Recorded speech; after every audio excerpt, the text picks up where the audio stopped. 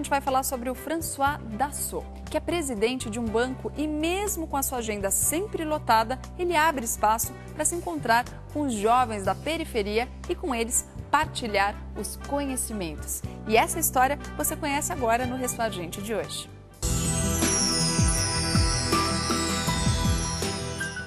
Para mim é uma prioridade, então eu consigo fazer o meu papel de presidente de um grupo e a responsabilidade social. François Dassault é um cidadão de muitas qualidades. Ele compartilha o que sabe e o que tem com quem mais precisa. Sou francês de origem, nasci na França, 40, 47 anos atrás, em Nîmes, no sul da França. Aí eu cheguei aqui porque a minha empresa, a Société Générale, me mandou para o Brasil. Isso 10 anos atrás. E quando eu cheguei aqui, no Brasil, era diferente do que ele é hoje. Mas eu achei uma diferença social muito grande, muito grande e do lado da minha casa. Aí eu sou indignado, eu sou revoltado. Eu pensei, não, mas isso não pode ser, eu preciso ajudar. Aí nós montamos um Instituto de Responsabilidade Social em 2007 para dar a nossa contribuição. Eu sei que a contribuição é pequena, mas eu acho que se todas as empresas fizessem exatamente a mesma coisa, a gente consegue resolver o problema social desse país. Tenho certeza.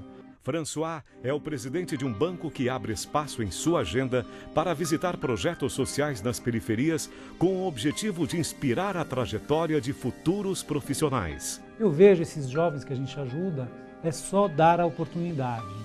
Eles são incríveis, eles têm uma vontade de crescer, eles têm uma vontade de aprender, de ser cidadãos do Brasil. O contato que ele faz é um contato mesmo pessoal, de trazer detalhes da vida, do dia a dia, como que é lá e também o que ele passou, né?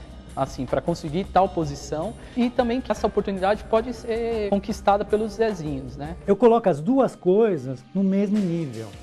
É responsabilidade. A palavra, ela diz tudo, ela é muito forte.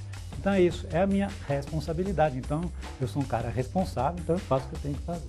Ele também recebe os jovens na instituição financeira que preside para que depois de um belo café da manhã, descubram com seus funcionários como a empresa funciona. Olha, a primeira coisa que eu vou te falar, eu sinto uma emoção muito grande. Sou um cara emotivo, então quando eu vejo esses jovens entraram no banco pela primeira vez hoje, me contando o que, que o banco faz. Ele soube explicar bem pra gente o que faz o presidente. Ele tirou totalmente aquela visão que a gente tinha do presidente, é aquele cara que senta na cadeira e comanda. Falaram super bem. Eu fico muito emocionado, primeira coisa. Depois orgulhoso, orgulhoso desses jovens.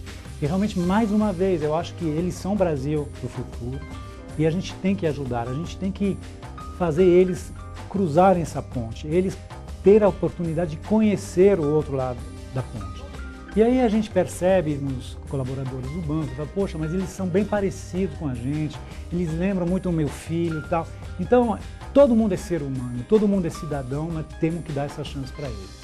Este brasileiro que nasceu na França ultrapassou as regras da responsabilidade social e rompeu a barreira do silêncio entre o mundo dos negócios e o mundo de verdade.